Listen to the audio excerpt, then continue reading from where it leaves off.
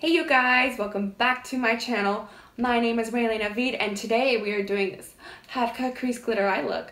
So it is super gorgeous, more for I think like special occasions, meaning graduations, homecoming, prom, or just for a night out because it is sparkly enough that you can see it. So if you really like this look and want to learn how to do it, please continue watching this video. But don't forget, give this video a thumbs up and don't forget to subscribe to my channel. So without further ado guys, let's get to the video.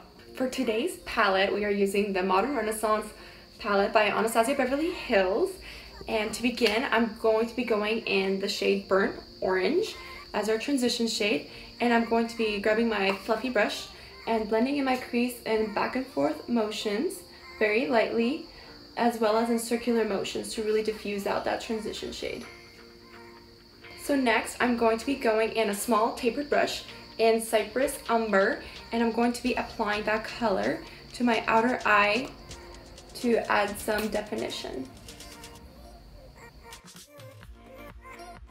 Next, I'm going in a fluffier tapered brush and I'm going to be going in Raw Sienna and I'm going to be applying that color above the dark color that we just put to diffuse out that color gradient so it blends in more with that transition shade.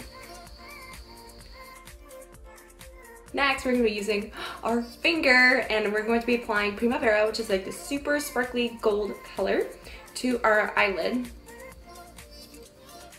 Now for the part for what you guys came for. So I'm going to be using this Stila product and basically this is like this gold uh, sparkle, which is perfect for cutting creases or just applying to your eyelid. And this is in color Kitten Karma. So I'm going to be using a very skinny brush that's pointed and I'm going to be applying it right to my crease.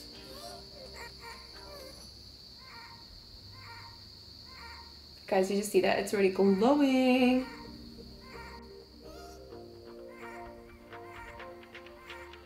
I already went ahead and colored above my lash line with liquid liner and then I also coated on some mascara. So while I'm waiting for my mascara to dry, I'm going to be highlighting my upper brow bone as well as my inner corner of my eye. So for my inner corner of my eye, I'm going to be using this color Vermeer from the Modern Renaissance palette.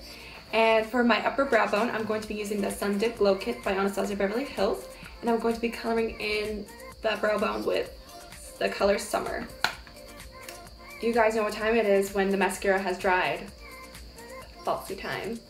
So now with these bad boys on, I'm going to be coloring in my waterline with a white crayon because I want to give the illusion of having bigger eyes. Continuing on with the lower half of my eye, I am going to be going in with the color Raw Sienna using a fluffier taper brush that's smaller and I'm going to be adding it right under my waterline so we can add some depth to our eye. Next, using the same brush that I used to coat the dark color on my upper eye, I'm using the same color and I'm just going to be adding more depth to what we already added. Basically, our eye look is complete except the fact of adding mascara to our lower lashes.